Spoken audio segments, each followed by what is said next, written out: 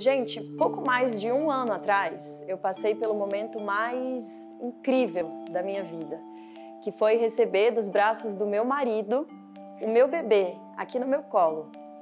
Mas eu sei que, infelizmente, essa não é a realidade de várias famílias no Brasil. Em uma maternidade no Piauí, esse momento incrível, mágico, tem sido prejudicado por causa de sérios problemas. Quem vai contar pra gente o que está acontecendo por lá é o Lívio. Reuflida é doula há três anos. A maioria dos partos acompanhados foram aqui, na maternidade Dona Evangelina Rosa. Ela não tem nenhuma reclamação quanto aos profissionais e equipamentos, mas quando se fala da estrutura da maternidade, aí é diferente. A questão da estrutura física deixa muito a desejar. É questão de conforto, às vezes é sucateado mesmo algumas instalações. Um botão de uma cama caído ou quebrado, piso, um chuveiro que não está funcionando. Nós temos essa situação. É, enfermaria não tem privacidade quando a mulher vai para a enfermaria. Os leitos não tem uma divisória de pano. A maternidade Dona Evangelina Rosa é a única de média e alta complexidade aqui do estado do Piauí. Ela foi inaugurada em 15 de julho de 1976, com uma estrutura modular muito utilizada em guerras. A meta de utilização era de apenas 15 anos, mas este espaço já é utilizado há quase 44 anos.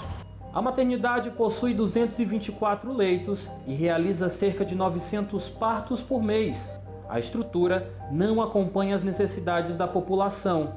Por isso, o Ministério Público Federal no Piauí, através de uma ação civil pública, determinou que fosse reformada e também que fosse realizado o concurso para melhorar a prestação de serviços. O descumprimento das medidas pode gerar multa de 200 mil reais. Nós já apresentamos assim as demandas da Secretaria de Saúde e os estudos estão sendo feitos pela Secretaria de Administração e Providência. Já o diretor da maternidade disse que as obras estão sendo executadas de acordo com as recomendações do MPF. A interferência do Ministério Público e dos conselhos de classe Conselho Regional de Medicina, Conselho de Enfermagem, Nutrição, deu um, uma condição para a gente, um olhar, fez com que houvesse é, é, uma mudança de olhos para a maternidade. E nós, nós esperamos, com, com essas reformas, dar condição à maternidade Dona Evangelina Rosa de sustentabilidade até a inauguração do novo Centro Materno Infantil de Teresina, de, do, do Piauí, que é uma grande obra. O desejo da doula é que o atendimento melhore e o sonho de partos humanizados se concretize na maior maternidade pública do estado do Piauí.